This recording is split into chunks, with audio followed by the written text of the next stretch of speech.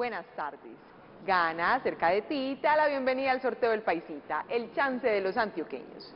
Y en presencia de las autoridades, iniciamos nuestro sorteo 11.723 del 18 de marzo del 2022, autorizado por la Lotería de Medellín y auspiciado por Gana.